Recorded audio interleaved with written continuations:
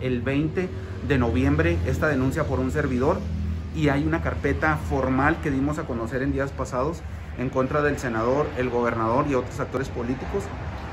Eh, nosotros cumplimos con lo que debíamos de cumplir hasta ese momento de la ratificación.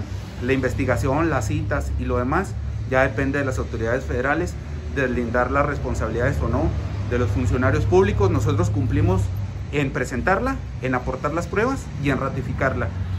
Hasta donde tengo conocimiento, la semana pasada se empezaron o se iniciaron algunas entrevistas de servidores públicos y será la autoridad federal quien tenga a la mano ya pues este, los siguientes pasos que, que realizar, emitir órdenes de aprehensión o, o, sancionar a alguien.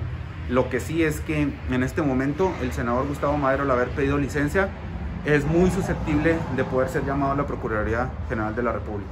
¿Puedo recordar cuáles son las evidencias de esta denuncia? Son cheques, son más de 25 cheques por el orden de 20 millones de pesos, eh, algunas declaraciones patrimoniales, algunas este, empresas, actas constitutivas de algunas empresas, cuentas donde fueron a dar, números de cuentas donde fueron a dar estos cheques del gobierno, a, este, que fueron mal, mal este, extraídos y, y, se depositaron en algunas constructoras como la constructora Macallen y en algunas empresas como Servicio a Futuros Integrales, ¿verdad? Que, que quien es accionista Gustavo Madero, precisamente por eso se le, se le vincula, ¿verdad?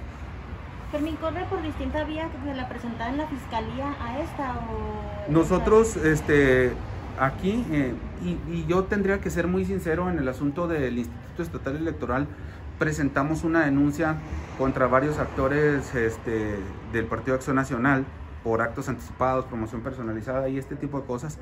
Eh, y ante la FEPADE lo hicimos porque el Partido Acción Nacional nos denunció cuatro veces eh, una conducta que ellos a su parecer era irregular, entonces nosotros quisimos evidenciar que la conducta que ellos realizaban era más irregular todavía porque inclusive entregaron dádivas por 3 millones de pesos, etcétera, ¿no?